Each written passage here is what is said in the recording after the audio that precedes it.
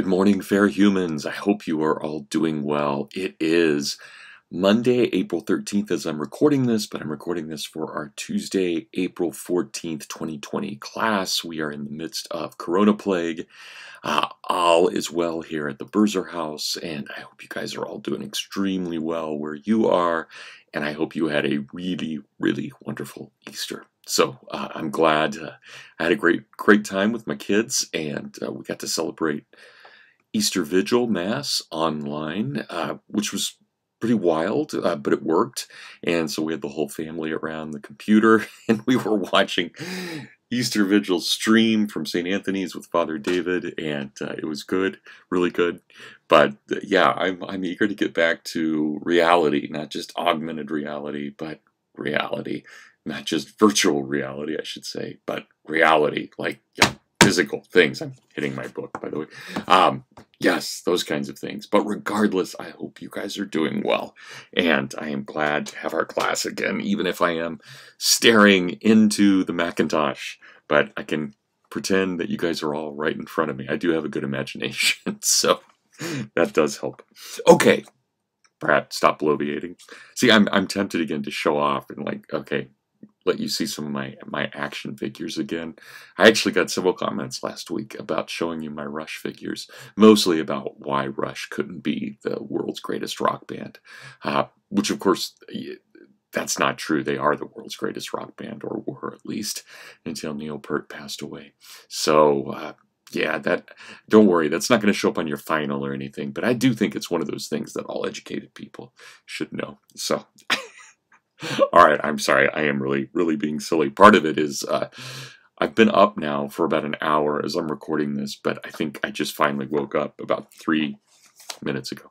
So, okay, if you remember last week, we were talking about Russell Kirk, and I want to keep talking about Russell Kirk. I want to talk about his personality. I want to talk about how humane he was, and I want to talk about some of his ideas as they get expressed, not just in terms of what he thought was good culturally, but what he thought was good artistically as well. We'll see how far we get today. I'm not quite sure.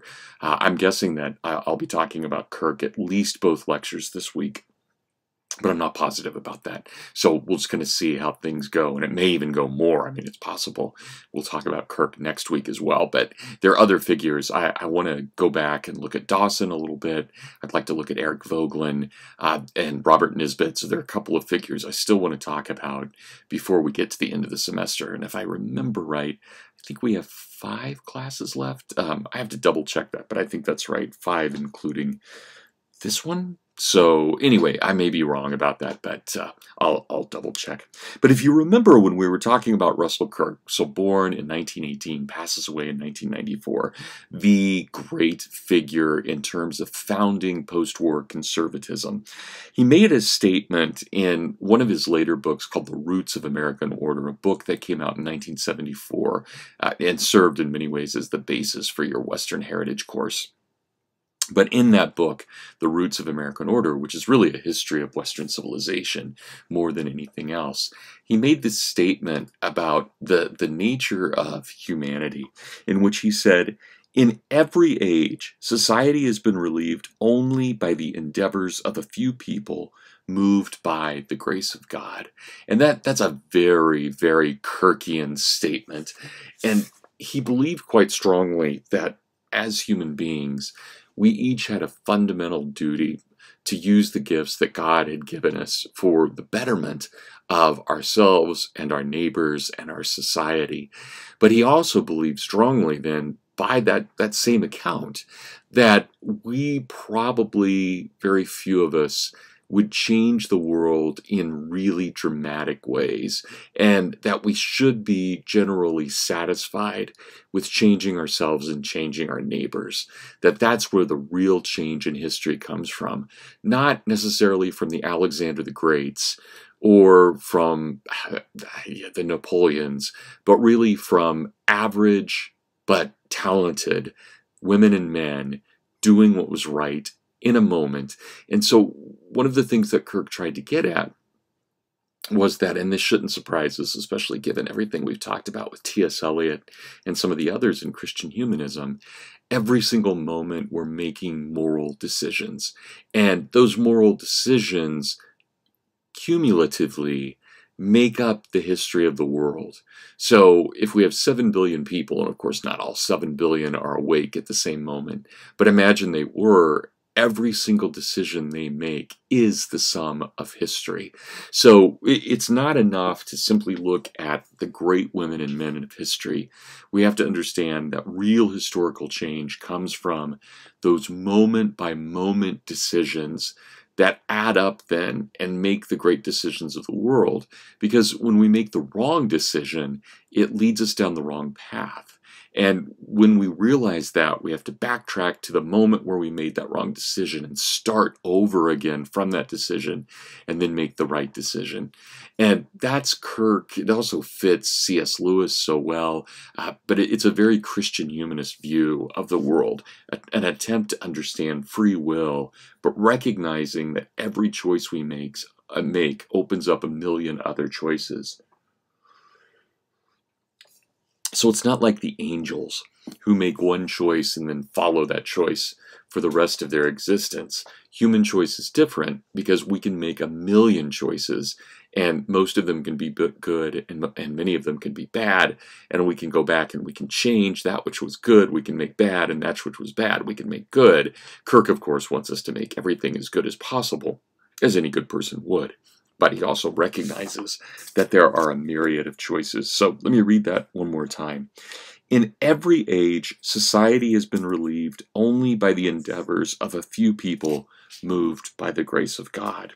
So we focus on those who make the largest changes, but in fact, it's those of us who make the million small good changes that really do influence history. And we barely know how. So, you know, I, I hope that as a teacher, what I say makes a difference. But when does it make a difference? Uh, at the moment, probably most of you are thinking, well, we've got to get through this semester. You know, is this something Dr. Birzer wants us to know for the exam? That's all good. Right? That's the kind of utilitarian aspect of the class. But Kirk means something to the effect of 10 years from now, will you pick up one of these books, uh, maybe when you're in the middle of a, a, crisis at work, and think about, well, what would the Christian humanist do? Or will you think about, oh, what was said in that class? Or what did my neighbor do for me in that class? Or what happened at Hillsdale College that year? Now, obviously, this year will always be shaped by the fact that this is the coronavirus year, which is you know, one of those things that I think is, is obviously terribly, terribly sad uh, because it means we can't be together. But it also gives a uniqueness to this year. Uh, you'll never forget this year. You'll remember it more, and you'll remember the time you're not together as much as the time you are together. Say, when you're my age and you're looking back 30 years later uh, on college, these things will stand out and they will have serious meaning. And Kirk says, Well, what do you do about it at that time? So in Kirk's understanding of the way that we make history good, we always do the right thing wherever possible. We help our neighbor wherever possible. We share our wealth, as Kirk did all the time. And I'll, I'll get to that either in today's lecture or in uh, a later lecture. But we, be we should be charitable at all times. We act for the benefit of our neighbor, and we do what is best, not just for us, but for the common good. And that could mean anything from a kind word to a kind gesture to a sharing of $5 to whatever it may be. Uh, those are the kinds of things that Kirk is thinking of that he thinks could shape something. So, uh, in the long run, so imagine uh, perhaps uh, you gave uh, an hour of your time to your neighbor. And you didn't really have that time to give, but you did anyway because your neighbor needed it there may not be direct results from that. In fact, the neighbor may even take for granted that you did that. But in some way, maybe 30 years from now, the fact that you were that witness, that you did the right thing at that moment, might shape one of your other friends who wasn't involved in it but knew the story and in a moment of crisis or in a moment of normalcy suddenly remembered oh yeah i remember when this person did that and uh, it was a good thing. I need to do that right now too. So these the results of these things could be 30 years hence or more 100 years hence maybe a word passed on from family to family. So we can't look for the dramatic results immediately we have to recognize that quite often mm-hmm. real change is slow it is incremental it happens over time so let's talk about Kirk and his genius for a moment, because I don't want to, by simply stating, let's look at the average man or average woman, though endowed with, with incredible gifts, I don't want to just look at Kirk as another person. There are things about Kirk that make him highly unusual and bizarre in many ways. I'll tell you just a few. So some some are personality quirks and some are just these incredible gifts that I, I still am kind of mind boggled, boggled in the mind about. Uh, so we think, we don't know, we think that he probably had a photographic memory. And he would often, actually, I should say, not he, but his students who came to Mecosta would often challenge him and they'd pull a book off the shelf, and he had a, a, a library of about 15,000 volumes. In fact, Hillsdale owns all those volumes now. Uh, but he had a, a library of about 15,000 volumes, and his students would somewhat jokingly and somewhat in awe pull down a book that he had not looked at for 30 years and they would read the first line of a page and Kirk could not only say, oh, that is page 67 of the 1942 edition of Thomas Jefferson's papers, but the rest of the page reads, and he could read it, even if he had not seen the book in 30, 40 years. Uh, and he knew it verbatim. And it's one reason that he quotes so often in his books other people and i have to admit i've never i've never caught a mistake um, in those books. He also did something similar with his letters. We know that he was an avid absolutely avid letter writer.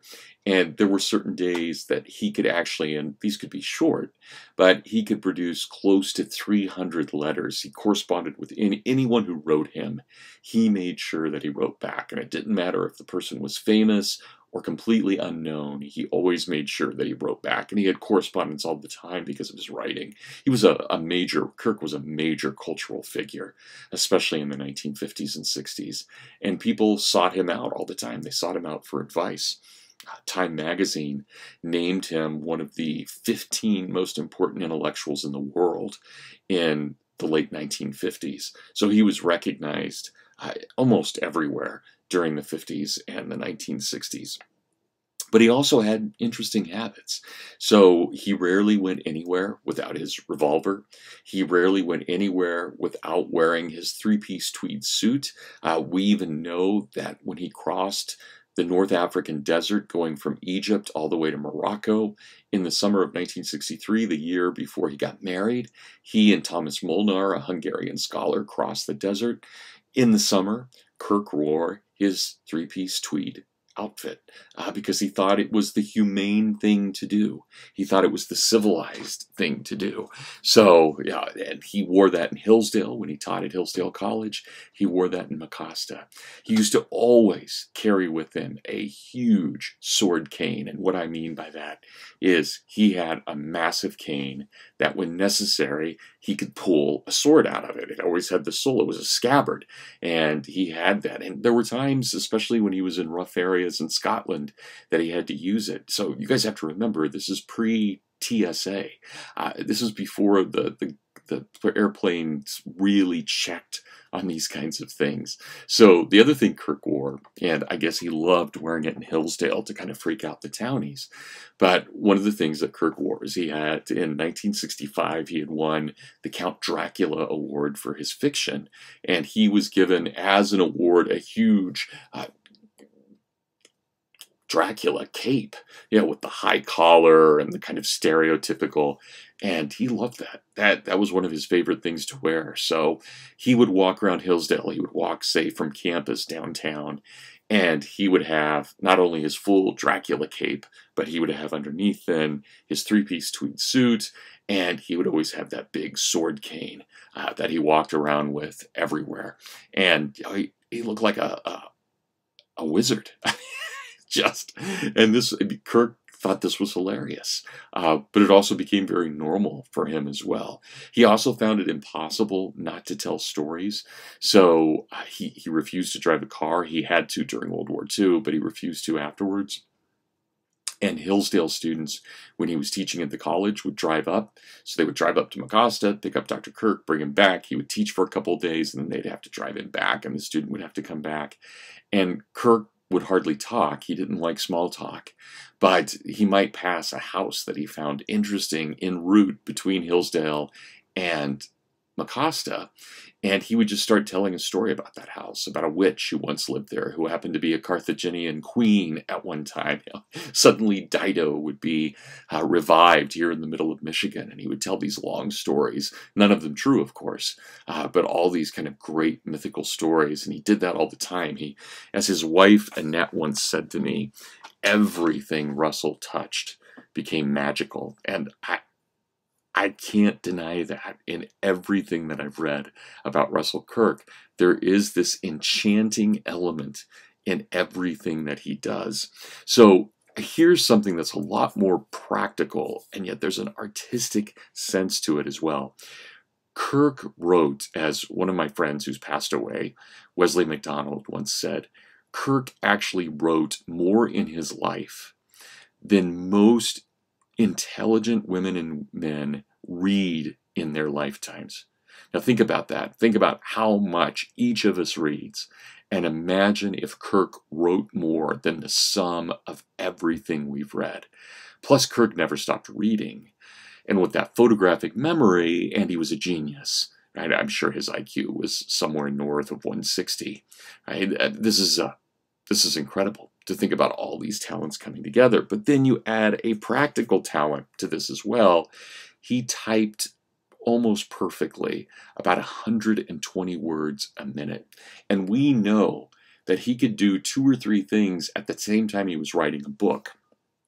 So he would be sitting at his desk in his library in Mecosta, and he would just be typing away on a book while at the same time giving advice to a student over here about which book to read, which book not to read, and talking to his wife about what the dinner plans were for that night. He could do all of those things at once, and it didn't bother Kirk. Kirk would just keep typing.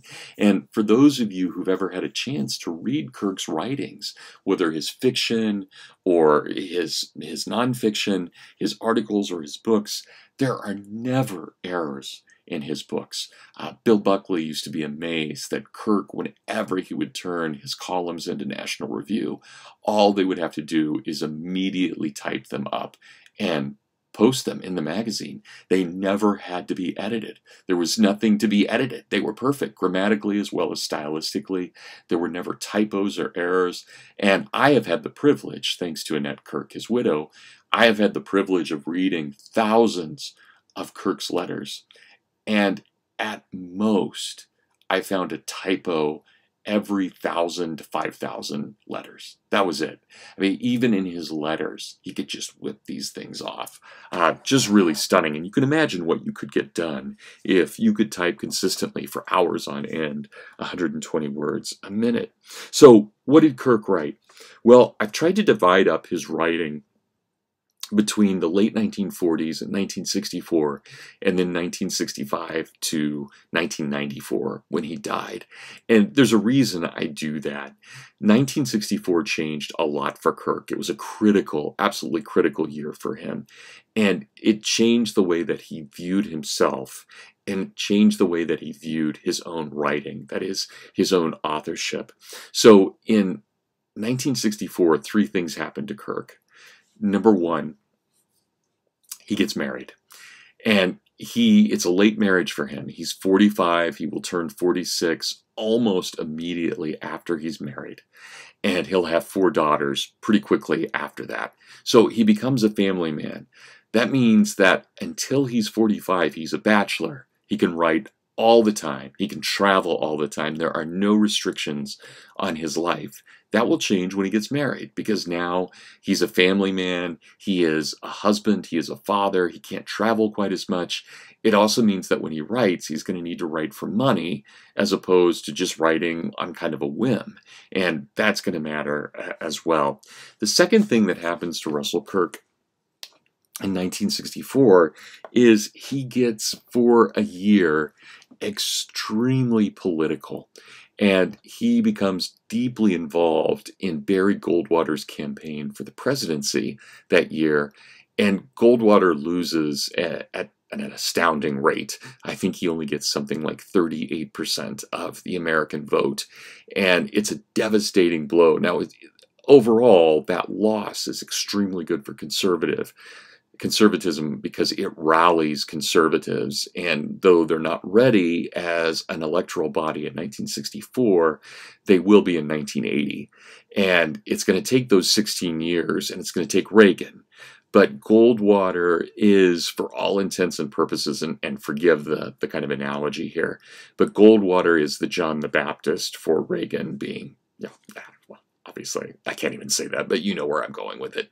Uh, but yeah i don't want to say that sounds blasphemous but it, it really is uh, goldwater does serve as a kind of john the baptist figure for the conservative movement and kirk is a vital role plays a vital role in that as does harry jaffa. They're the kind of two great advisors for barry goldwater in 1964 but the result of this for kirk is that whereas in 1960 everybody read Kirk because he was not political, even though he was conservative, but he was not politically partisan. After 1964, Kirk's reputation declined so drastically that he really only fully recovers it right about his death. So it's going to take him 30 years to recover his reputation. He had been everything in 1960 by 1965, he's really almost nothing uh, because of how drastically his reputation falls. And he will spend the last 60 years climbing out of that hole and trying to uh, reclaim, which was not difficult for him because it was honest, but he was trying to reclaim his non political self during that time period. The final thing that happened to Russell Kirk, and we'll talk more about this later, the final thing that happened to him was he converted to Roman Catholicism in 1964. In August, in fact, uh, on the Feast of St. Augustine, he became Russell Amos, which was his given name. His middle name was Amos. He became Russell Amos Augustine Kirk.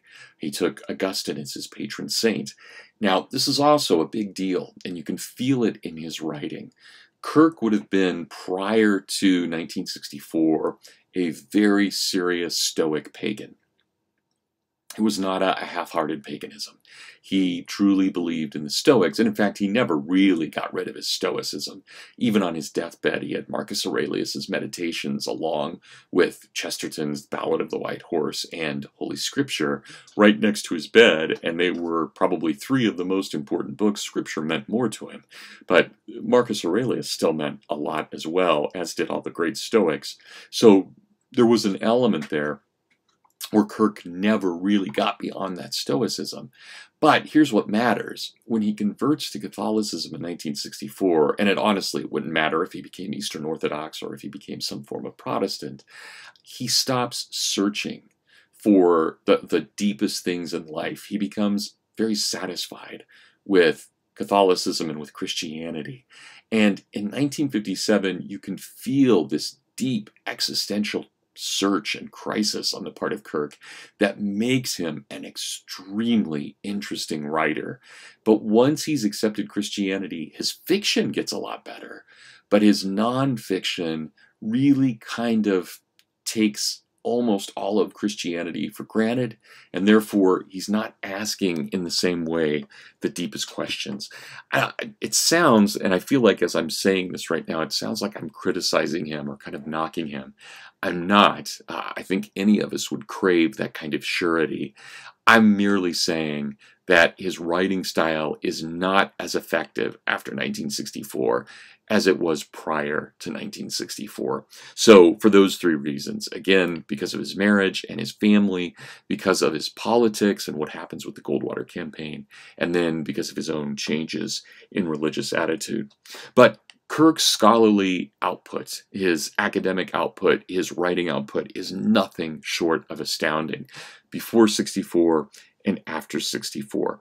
Uh, just, just think about this. Prior to 1964, so he starts in 1949 uh, and up to 1964, so in those 15 years, he publishes nine books of history and cultural criticism. He published his first novel, which was a New York Times bestseller. He made more on that novel, Old House of Fear, than he made on all of his other books combined during his career. He published more than 400 articles in those 15 years. He wrote 26 reference articles for major encyclopedias, and these weren't little short things, these were massive articles that he wrote for Collier's and for other other uh, encyclopedias. He wrote 60 book reviews in those 15 years, and he wrote 17 book introductions, and he wrote 10 short stories. So let me quickly repeat that. In the 15 years leading up to 1964, he published nine books of history and cultural criticism, his first novel, 400 articles, 26 reference articles, 60 book reviews, 17 book introductions, and 10 short stories. In addition to that, he founded two scholarly journals, Modern Age in 1957 57, and the University Bookman in 1960. And on top of that, he wrote a number of personal travel logs, many of which he only gave to his friends and didn't didn't publish for well, public consumption. And that, that's incredible. Now, what about afterwards? Between 1965 and 1994, he published 14 books of cultural criticism, 408 articles, 32 original chapters in edited books, 182 book reviews, two novels, and eight short stories. And he continued to edit the University Bookman. And he served as the series editor for Transaction Publications' Library of Conservative Thought, over which he saw the editing and publication of 25 volumes right? That's that's stunning. So that's all just from 1965 until his death in 1994 let me let me repeat those. 14 books of cultural criticism and history 408 scholarly articles 32 original chapters and edited books, 182 book reviews, two novels, and eight short stories. So combine all of that from 1949 up until his death in 1994. The man was somewhat of a machine. And in addition to that, I'm not done. In addition to that, between 1962 and 1975, Kirk was the editor of an extremely popular newspaper series called To the Point. And during that time period, from 1962 until 1975, Kirk published over 3,000 newspaper columns. And he was known for so many people. He was known as the columnist for To the Point. That was his great column 3,000 newspaper articles, in addition to everything else that he was publishing in terms of actual articles, books, short stories, and novels. Yeah, this, is, this is truly incredible to think about what he was doing. He once was asked, well, What is it that allows you to write so many newspaper columns in addition? And he said he had six rules for himself when writing newspaper articles. Number one, write about topics for which he had a good understanding and never step on the toes of those who knew better than himself. Number two, never write anything to a reader and assuming that they are ignorant. Always write at your best level, most intelligent level for your reader. Number three, never simply pontificate, but always tell the best stories that you can, stories that people can relate to. Number three, always cherish differences of opinion especially when someone takes your ideas seriously but disagrees with you. You should cherish that they took your ideas seriously. You should cherish those differences of opinion as respect. And as respect, not just for you as the writer, but to them as taking the time to respond to you, which is why Kirk always responded to every letter he ever received. Number five, always attack fads as merely conformist propaganda of the moment. And number six, never forget that you, the author, are as fallible as every other person. Those are six pretty great guidelines when we think about Kirk and what he's trying to do here. But here's what one person wrote about him, trying to describe, and this is actually a pretty famous historical and political philosopher, a man by the name of Paul Gottfried, what he said, trying to understand what Kirk was like as a writer, as a typist. Russell was a solitary aesthetic character. He was a marvel who, in all likelihood, never agonized over his compositions he would draw a single wreath of smoke out of his cigar each time he paused in his typing, and then he would bring forth what inevitably followed. Imagine. Right? so, watching him type reminded me of an arresting statement that I once heard Leonard Bernstein make about Beethoven. It was Bernstein's contention that even if Beethoven was not the equal of Mozart as a melodist, nobody in the history of music had constructed compositions like his, in which every passage came forth with ineluctability from whatever preceded it. No matter how often Beethoven was interrupted in his work, each time he went back to it, he devised the only possible combination of notes that could have continued what he had already begun before. Russell wrote in the same way. Right? What what a great way to think about this. This idea that Russell was like Beethoven. Not Mozart, not quite that great, but like Beethoven, right? Basically second best, but still amazing in what he did. But that's what it was like watching Dr. Kirk at the typewriter. Another person said when coming to interview him for the Detroit Free Press that sometimes when Kirk talks, it's like listening to a book itself talking. And that, I think, tells us a lot about who Kirk was and what it was that he really, really could do in terms of his great talents. Okay, so I want to give you, I'm going to switch gears here just a little bit and talk about what is it that makes Dr. Kirk such a great writer? That is, why is he so compelling to us? And I want to give a little bit of background to who and what he was. So, as I've mentioned a couple of times, Dr. Kirk was born in 1918 and he was born in Plymouth, Michigan, which is now a really, really nice suburb of Detroit. But in 1918, Plymouth was a has been town, a railroad town that was already in a bad area with really very little industry to speak of. It was an area of deep, deep poverty. It was a very troubled area in 1918. And it's really, it's not going to recover for decades. It's really not, as far as I know, until the 1970s when it's seen as a bedroom community for Detroit that it starts doing well again. Now, Plymouth is super nice, but it was really bad when Kirk was born. And he was born into extreme poverty. And that poverty remained with him throughout his life. Now, not in terms of him making money. We know that during his life he was making millions of dollars, not just on his published writings, but on his speeches. When you add all that together, he was making so much money. But that poverty always went with him in terms of attitude, because for Kirk, money was never, ever, ever more than a means to an end it was always meant like any talent. If God gave you the ability to run, to glorify God, you run like the wind. If God gives you money to glorify God, you give it away. That was Kirk. And partly, I don't want to say that was just because he'd grown up in poverty, but in fact, not at all. I think this has to do a lot with Kirk's own, a lot. 90% of that is Kirk's Christian charity, to be certain.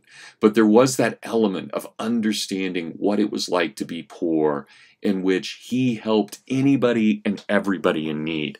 In fact, uh, I, I will say this no matter how much I talk about Kirk's ideas or his writings, if you take away nothing else, and I hope you do take away more, but if 50 years from now you remember this class, I would more than anything else like you to know that when Russell Kirk died in 1994, he was broke. Why was he broke? Not because he was a poor money manager, but because he gave everything he earned away. He gave it to anybody who needed it. And I'll talk more about that later. But that to me is the astounding thing about Russell Kirk. I have never in my own life studied someone who comes closer to sainthood than Russell Kirk in his lifetime, especially when it comes to his charity. J.R.R. Tolkien and C.S. Lewis come very close. Uh, and I would not, I mean, if, if there was ever a formal move by the Anglican or the Roman Catholic or Orthodox Church to make any one of those three officially a saint, I would in no way be shocked. Uh, they, to me, should be sanctified and should be beatified as saints but that's that's another topic but i do want you to remember that for russell kirk it was his immense charity so he grows up in poverty he has kind of a ne'er do well dad. In fact, we hardly ever find him appealing to his father. He doesn't have good conversations with his father. There's no resentment, there's no disliking there between Kirk and his father. There's just not a deep respect that he has for his father. But for his mother, all the respect in the world. His mother is deeply, deeply intellectual and deeply saint like in the way that she raises Russell and his sister, in her motherhood, in the way that she sacrifices herself for them. There is a deep love in all of that, and Kirk will always admire his mother. Uh, to the end of his days, his mother will mean everything to him. His father, not so much, but his mom's dad, everything. Kirk never stopped talking or writing about his father's dad, about his mother's dad. Did I say father's dad? His mother's dad, his maternal grandfather, Frank Pierce, right? That was a real man. And he was a real man not only because of the way he handled himself in day to day situations, but to Kirk's mind, he was a real man because he never stopped reading either. He was not just a man of action, he was a man of words, and he was a man who understood the gift of the intellect and how much the intellect meant.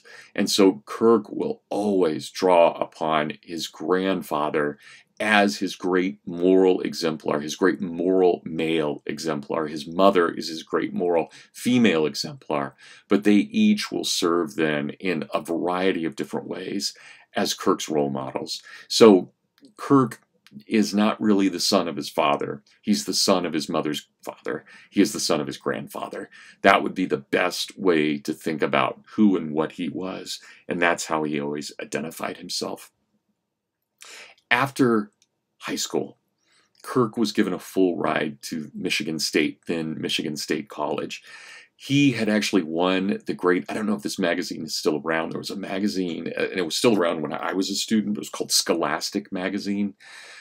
I know scholastic is still around because they published the harry potter books but there was a scholastic magazine same company again whether they still publish this magazine or not i don't know. Uh, but there was a magazine when kirk was in high school that would offer a big scholarship every year for the best essay written by a senior in high school. And at the last minute, literally, this essay had to be postmarked the next morning. Kirk decided to write an essay, and he had no idea what he was going to write his essay about. And it was, like I said, a last minute thing. He had something like six hours. Maybe he started writing it at one in the morning and he had to have it postmarked by six, seven the next morning at the post office, probably eight actually. So he had about seven hours. And he opened his desk drawer, and in that desk drawer, he had a number of family heirlooms, little ones, uh, bullets from the Civil War and other things. And so he just pulled them out one by one and he wrote an essay called Mementos, which is uh, he's a senior in high school, but he's writing at the level of a very, very well known, say, 30 year old, uh, 35 year old at that point. It's an extremely good essay, even though he writes it very quickly. And it was a, a, an instantaneous topic, but he does beautifully and he wins the scholarship. He could have gone anywhere in the country. He had never left Michigan, and therefore the idea of going to, say, an Ivy League school or even Notre Dame uh, was just out of the realm of possibility for him. It was Michigan State. And so he went to Michigan State. And when he got there, he found a group of older men, some professors and some men from the community, who had a club dedicated to reading the works of Irving Babbitt and Paul Elmer More, the, reading the humanists. And they were humanists, and Kirk was by far the youngest mem- member but they welcomed Kirk and they loved Kirk, and Kirk loved them. And this was a critical thing for him because during his first two years of college, he read all of Irving Babbitt and most of Paul Elmer More. And he had never, he had always been extremely intelligent. I hadn't told you this yet. But for example, by the time he was 12, Kirk had read all of the works of Thomas Jefferson, including his letters and he had read all the works of Karl Marx because Kirk was absolutely certain, even at the age of 11 and 12, that these were the two great figures in the modern world, Jefferson and Marx, and that it was the duty of every good American to decide between them which was more accurate, Marx or Jefferson. Of course, Kirk chose Jefferson and fell in love with the Declaration and the founding. But he was very young. He had read all of James Fenimore Cooper. He had read Sir Walter Scott uh, before he was even a teenager. So yeah, this is an extremely intelligent, very, very advanced young man. Uh, but he had not really gotten into any kind of cultural or political philosophy. And that's what Babbitt and More provided for him, along with that group of men that he met in the early 19, uh, late 1930s. This group was very, very important to him. Kirk graduates with honors, of course, and even is able to publish during.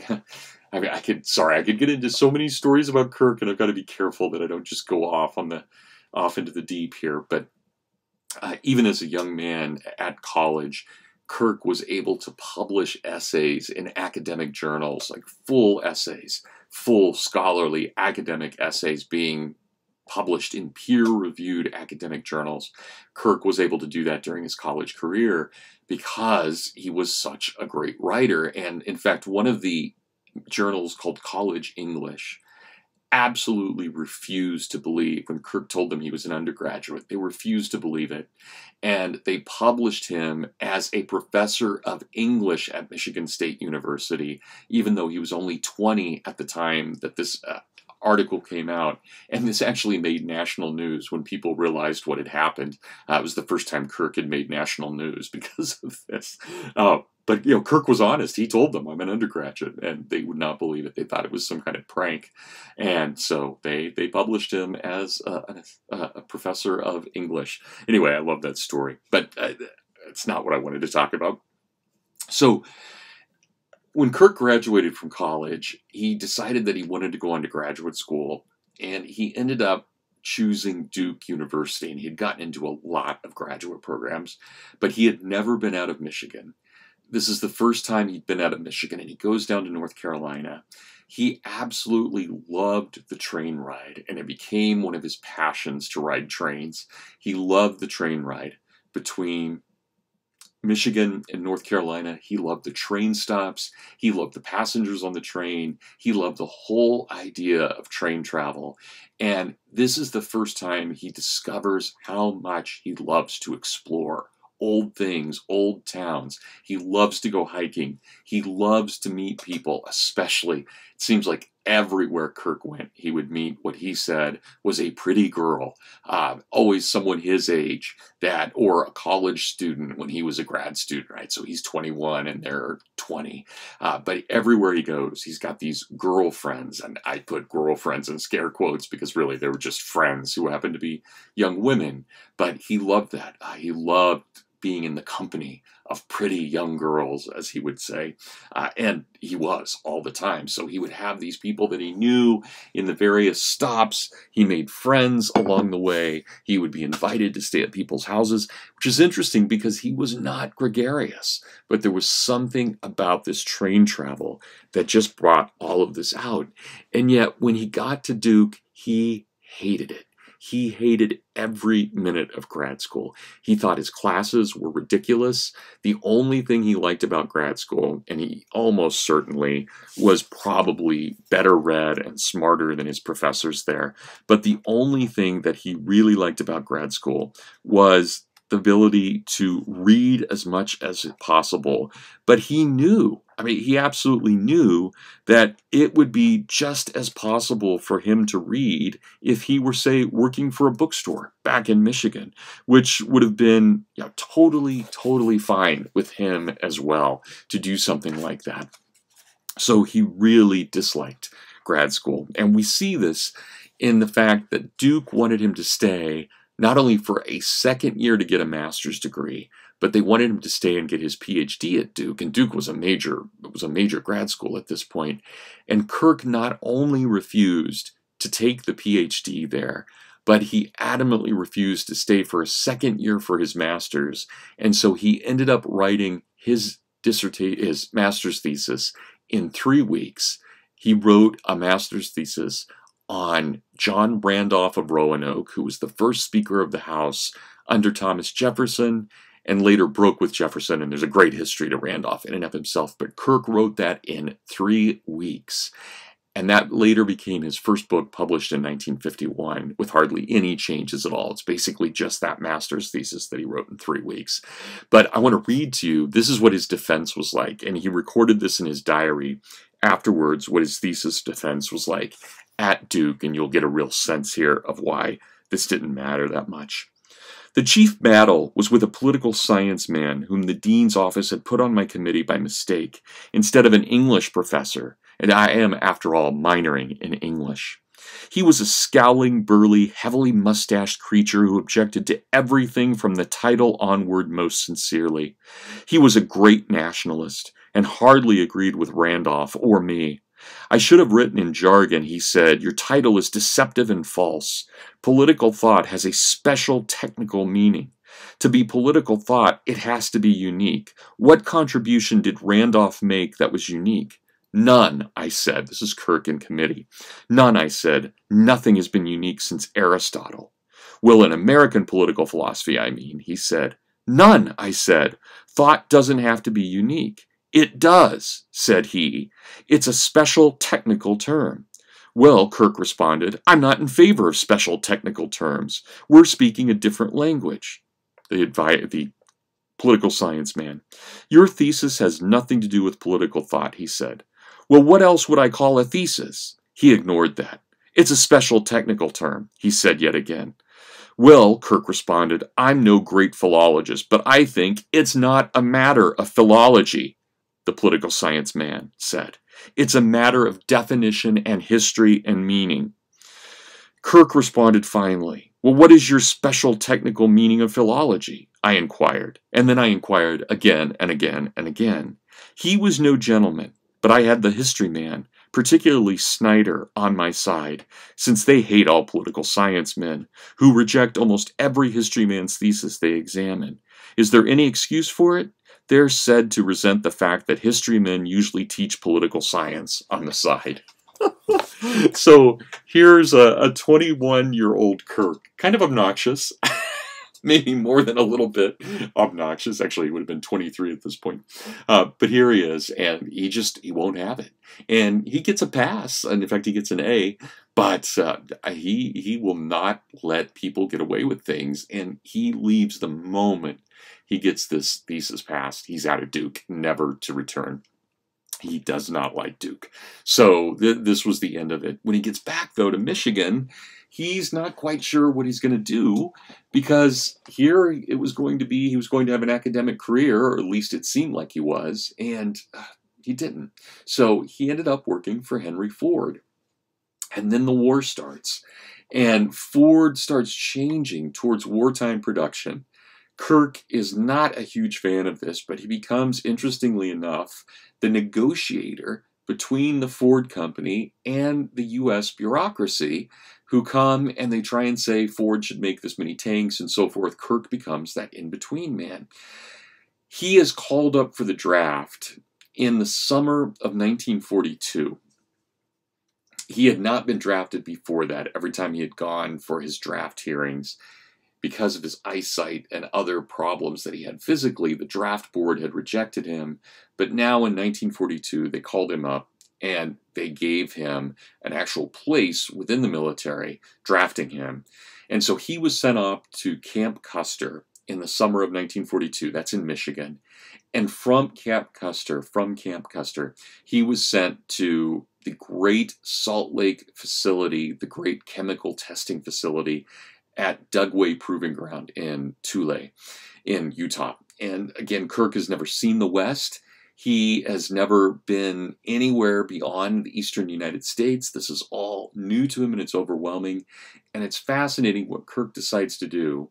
In the summer of 1942, as he realizes he's going to be drafted, he, got, he gets, with the money that he has from the Ford company that he's earned, he buys a complete set of all of Plato's works, everything on Socrates, and he buys a complete set of all the Stoics. And he decides that if he's going to have to spend time in the military, he is going to learn philosophy, in particular Platonic and Stoic philosophy. And he does. And this is where Kirk's real Stoicism comes from. It comes from his reading of these works throughout World War II. Throughout World War II, he serves as a company clerk at the Great Sand Dunes in Utah. There is a brief time that he's sent to a chemical, a chemical weapons testing facility in Florida, but he never sees combat through the whole war. He is a company clerk, always domestic, always at a U.S. fort, and mainly near Salt Lake City, out in the Great Salt Lake Desert. It's actually about 90 miles to the south and west of Salt Lake City, but he is in the Great Salt Lake Desert during all of this. It is a huge formative time on him. And there are a couple of things we can say about Russell Kirk as a young man. So he uses his time to read as much as possible.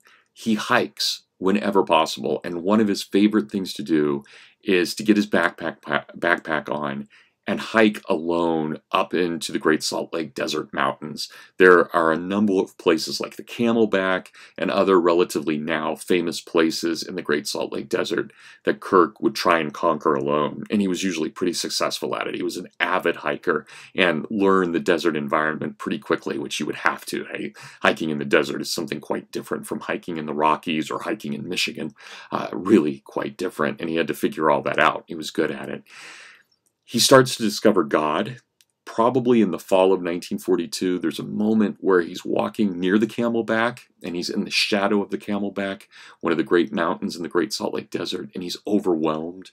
And in that moment of being overwhelmed by the majesty of the desert and the majesty of the mountains, he decides that there really has to be a greater power but he adopts the Stoic Logos, this kind of pagan god. He adopts the Stoic, the Stoic Logos as his god, but he's serious about it. He doesn't light incense or pray to it, but it's always in his mind that there is this Logos, this great eternal mind or eternal reason that really does guide us if we allow it in the things that we do, and is certainly the author of natural law. So he's an avid hiker, he's an avid reader. He starts writing experimentally for the most part. He creates the company newsletter, which is very funny, called the Sandblast. Uh, I have copies of all of those, or at least all the ones that exist. He has a profound diary that he keeps during this time. He makes all kinds of observations, not only on the officers, but on his fellow enlisted men uh, or draftees during the war. He makes all kinds of comments on the military. He despises Franklin Roosevelt. He thinks of Roosevelt basically at the same level that he thinks of Hitler. One is a domestic enemy, the other is a foreign enemy. I'll explain why here in just a moment he felt that strongly. He despises the military, and he thinks, and he will think this until the day he dies, that once a republic begins to draft its men, it is no longer a republic a republic, for it to exist, demands that its men would volunteer to serve, to fight in a war, just like they did during the American Civil War, where 94% of Union soldiers were volunteers. For Kirk, that is the model.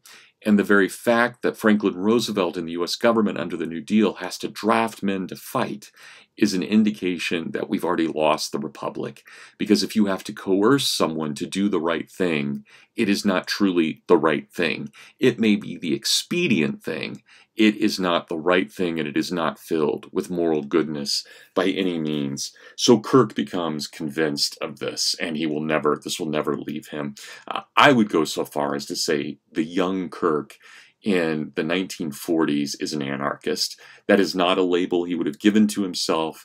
It's not necessarily a pleasant label. I realize it conjures up kind of whiskered men throwing bombs, but uh, there's almost no way around it that Kirk was so adamantly opposed as a young man to any form of government, that he was an anti statist to the extreme. He even starts corresponding, and he has a long correspondence with the great anarchist Albert J. Nock during World War II. They befriend one another, and he also corresponds with a libertarian, she's not an anarchist, but a woman named Isabel Paterson. And Kirk corresponds with both of them, and they have a huge influence on his life. But there are two things that happen to Kirk that or happened around Kirk that dramatically shape his own views on government and on American society. The first thing that he sees and that disturbs him deeply is, yeah, even hard to talk about, even in 2020, one of the, the worst crimes we've ever, ever committed as Americans. It is the internment of Japanese Americans. Now, there needs to be a little bit of background here. This was Order 9066, right, 9066, under Franklin Roosevelt, his executive order to detain all persons of Japanese ancestry. And I hope you know, right, he didn't just detain them. All of their property was auctioned off, and all of those of Japanese ancestry in America were sent to six different concentration camps. I personally have been to one. I've been to the concentration camp up in Minidoka, Idaho, and I've driven by one in extreme southeastern Colorado, but I did not stop there. But I've explored the one at Minidoka. Now it's just a kind of a state park and um, monument up in that area of Idaho, but really stunning horrible moments in American history. The rule was that anyone with any Japanese blood quantum was to have their property taken from them and then from them to be taken away. Now, here's the craziness of all of this. Japanese immigration to America had ended by a gentleman's agreement in 1905. This is now 1942. That means that every person of Japanese ancestry in America was or had been in the United States for at least 46, uh, 36 years at this point. That that means that we're talking about now almost two full generations. It's not as though Japanese nationals started flooding into America right after Pearl Harbor we had far more people, far more recently from Italy and Germany arriving in America, but they were never imprisoned at the same level that the Japanese were. This was complete and utter racism in every way, and Kirk was horrified by this. So during his first furlough, Kirk hitchhiked. So, in addition to actual backpacking and hiking, he also loved hitchhiking.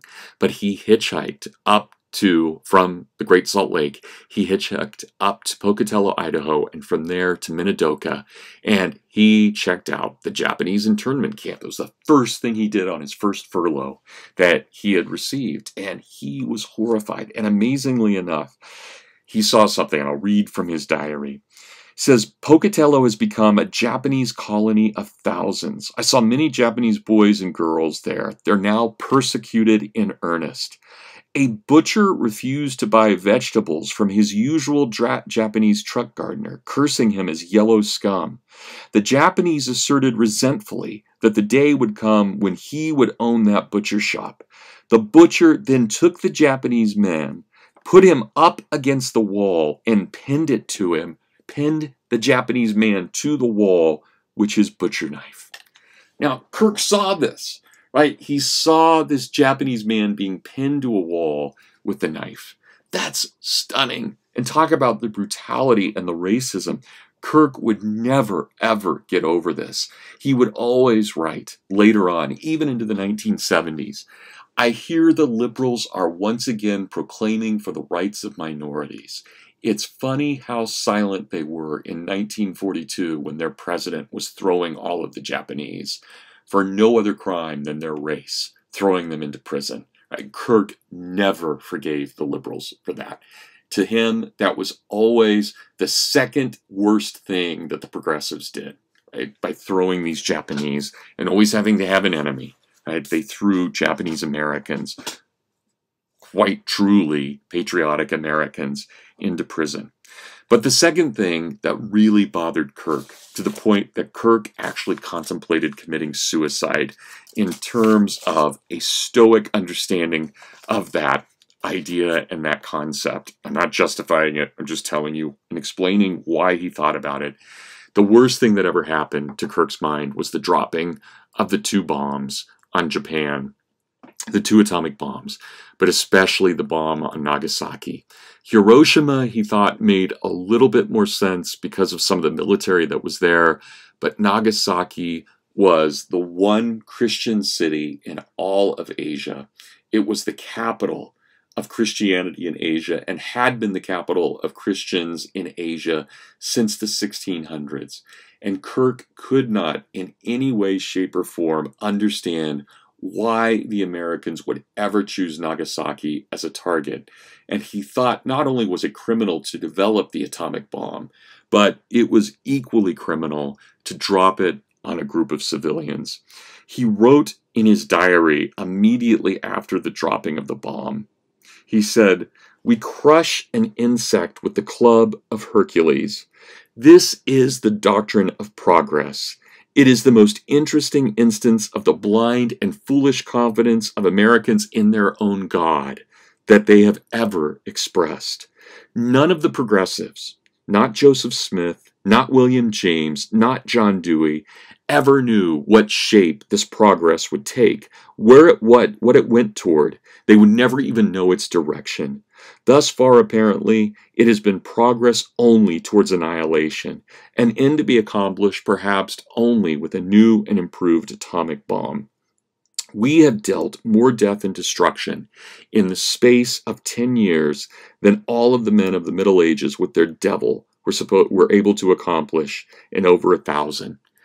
Five months later, he wrote again in his diary, Five months have elapsed since Hiroshima and Nagasaki were destroyed in that time, what happened? Have Americans reflected on their sins? Have they considered alternatives to such mechanized destruction of innocence? No. If anything, Americans have become even more conformist, more docile, and they have proven themselves to be nothing more than little puppets to whatever propaganda the government is creating. The dropping of the atomic bomb was simply the trump of doom. It was sounded and the gulf was yawning, and we have to go on listening to the hit parade, striking, drinking, fornicating, cheating, hating. We Americans are miserable little animals in our shambles. I have no hope for us. We cannot expect to rid ourselves in 10 years of all the follies and vices that have been ours for 20,000 years. And probably we have not even 10 years into make our, in which to make our wills and say our prayers. The end is coming. The most human passions and longings as we know them are done for. Refined affections, refined affections and desires cannot exist in this abyss of violence and poverty. Science and popular judgment have brought to us nihilism in thought and fusion in substance. Right? And Kirk says, and who am I? I am the worst of all of these, for I too go on simply living my life.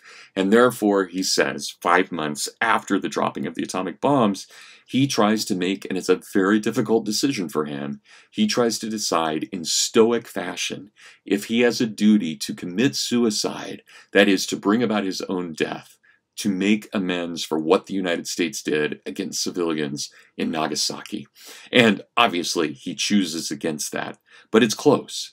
And even years later, in 1989, he writes in one of his books, and I'll end with this today. I'll, end actually on a positive note, but let's get through this and then I'll give us some closing thoughts.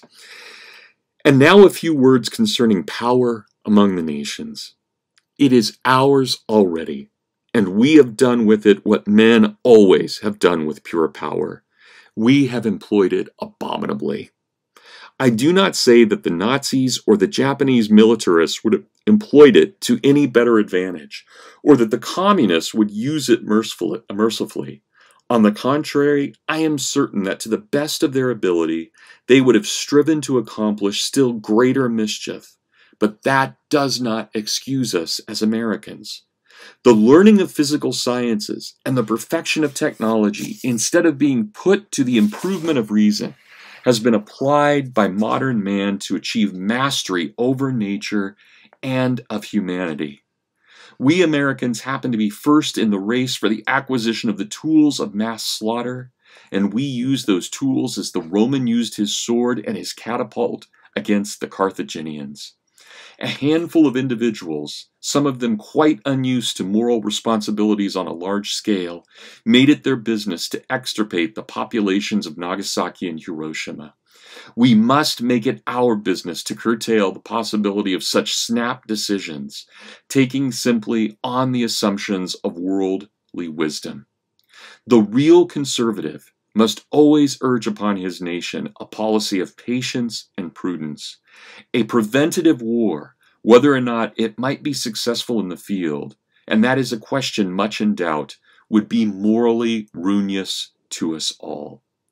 There are circumstances under which it is not only more honorable to lose than to win, but quite truly less harmful in the ultimate providence of God right? I, I want us to think about that idea. It is better to lose and save your soul than it is to win and lose that soul. And that, I think, is a huge part of conservatism throughout the 20th century. And it's what makes our conservatism in 2020 so very different from the conservatism of Russell Kirk and the conservatism of 1953. The conservatism of 1953 was just as distrustful of the U.S. military as it was of the U.S. welfare state. The welfare state and the warfare state were seen as intimately connected one with another. This is what C. Wright Mills, Robert Nisbet, and later Dwight D. Eisenhower would refer to as the military industrial complex. But somewhere between George Bush the first and our time, conservatives became extremely comfortable, comfortable with the idea of a very aggressive foreign policy to the point that if we look at it now, we have troops stationed in 150 countries out of 200 countries in the world. Uh, this is a radically different thing than we have ever had before. It's radically different than what was true in the Reagan era. It was radically, radically different from what was true during Kirk's era. And Kirk is very fearful that we Americans, because we have this noble heritage, we believe that we can use this military to the right that is to do good in the world, and Kirk is deeply, deeply skeptical of that. And that goes back to his own experience in World War II. Well, let me end on a bit more pleasant note, and that is when Kirk is let free from the military, he's not discharged, he is drafted. He must remain in the military until 1946. He's a later release in terms of being drafted. But when he's released, he returns to Michigan State, to his home, and he finds that the Michigan State History Department is more than happy, more than happy to bring him into the department and to give him a full-time faculty position, even though he only has his master's degree. And so for two years, Kirk teaches in the Department of Western Civilization at Michigan State, teaches in humanities, teaches the great books, teaches the great works. But he decides this is not enough, and he really does want to earn a terminal degree. He really does want to get the highest degree possible within history. And so he starts looking around and he decides that there's only one place he truly wants to go. He wants to go to the University of St. Andrews in Scotland. He decides that it must be as good as Cambridge and Oxford, but unlike Cambridge and Oxford, it has not succumbed to modernization in terms of expanding its roads or allowing traffic within the community. So he applies and he gets into the University of St. Andrews. In the fall of 1948, he takes an ocean liner across the ocean and during that time, as he is on the ocean, he decides that one thing that absolutely must be studied is Edmund Burke. And not just Edmund Burke, but the influence of Edmund Burke on everyone from John Adams all the way up to T.S. Eliot. He decides this on that boat. And it, there's an interesting way he does this. And I, I don't want, this is going to sound like I'm mocking him. I'm not. But I love this. Kirk was madly, madly in love with a young woman named Rosie, who was his sister's best friend. And Kirk had been madly in love with her for a long time. And in what can only be regarded as somewhat scandalous, he and Rosie shared a cabin en route to England, or to Scotland. So they shared that six week cabin, three week cabin, whatever it was. They were in a cabin together. And nothing untoward happened between them, but you can imagine what the level of temptation must have been like. But in fact, almost immediately, they resented one another, and the stress between the two was just horrible. And right before they were about to land in Scotland, Rosie said to Dr. Kirk, said, no, he's not a doctor yet, but said to Russell Kirk, Russell, I'm sorry. Uh, I don't love you. I'm never going to love you. This has been a terrible moment in my life. I'm not even going to go with you to St. Andrews. The moment we land, I'm taking off and I'm exploring Europe for a couple of weeks. I'll come back and say goodbye, but then I'm heading back to America. And Russell was absolutely heartbroken. And he writes in his diary that he knows he will never find true love again. And this is in October of 1948. I will never true, find true love again. My life as a man is over when it comes to women. I must now dedicate myself completely to some new task. What will I do? I will dedicate myself to the ideas and thoughts of Edmund Burke. And that's how he got out of the depression of the breakup. All right, everybody, God bless. I'll see you in two days. We're going to continue talking about Kirk, and specifically, we're going to look at Kirk as a humane thinker, as a man of letters, but also as a writer of fiction. So see you soon. God bless everyone.